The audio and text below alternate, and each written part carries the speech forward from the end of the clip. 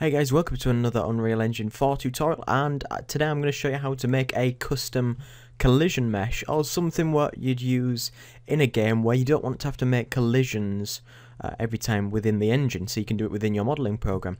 So this is just a very basic example. All I've got is a cardboard box and you can see the edges and the sort of polygons that make up this mesh. Now, I don't want to say go into Unreal and make it uh, a sort of collision over the entire mesh or make it convex because we don't want extra points all over this because this is essentially a cube shape so we should be able to just have a collision.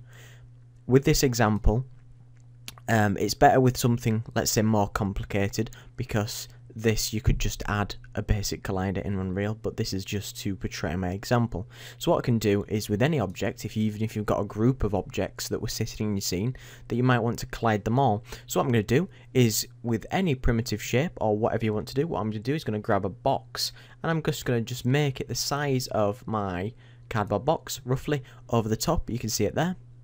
And from there you can see that it's just got a default colour on it.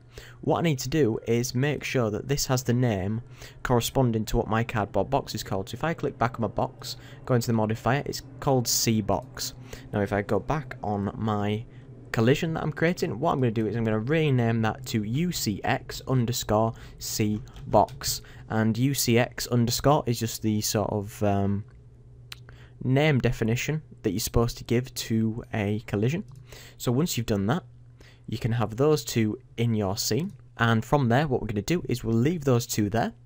What I'll do is I'll go export, export, and I'm going to choose where to export my model. If you're not using 3ds Max, it's very similar in any other modeling program.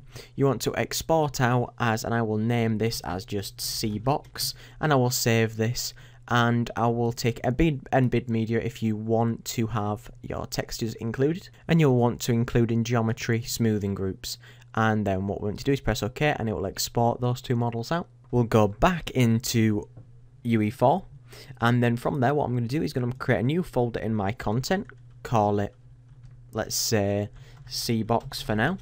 Just for this example what I'm going to do is right click in there, um, choose new asset, import and what I'm going to do is I'm going to find where I have saved my model. So I'm going to import CBox. Uh, we don't want to auto-generate a collision, so we can untick that. We can import materials and textures if we want to, so we'll click import. You can see my object here. What I can do is I can bring this in, and I will drop it in my scene, and I can just scale it up for the purposes of this demo, let's say. And then you can see my box in my scene, and if we walk towards it, you will notice that there we go. We have the collision on the actual mesh itself. Now if we just go out of that, I can um, double click my model. Now if I view this in the inspector window and I show collision, you can see the purple around the purple bounding box is my collision that I've got on my object. So that's just a simple way, if you need to and you want to, bring in a custom collision, no matter how complicated it can save you the time or the level design of the time in the actual engine itself.